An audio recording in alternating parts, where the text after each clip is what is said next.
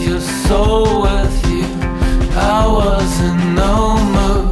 Hello, my name's Peter Katis, and we're going to talk today about a song called You Had Your Soul With You by the band The National.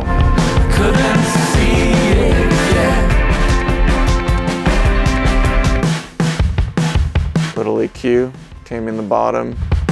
Again, love that fatso, or this, the old Zener limiter. Meter's not moving, but it's doing a lot.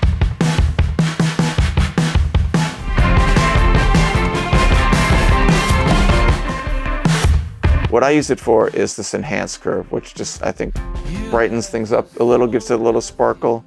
Um, and I find it very musical. Uh, sometimes it can be maybe overly modern sounding, but usually it helps. Usually I like it.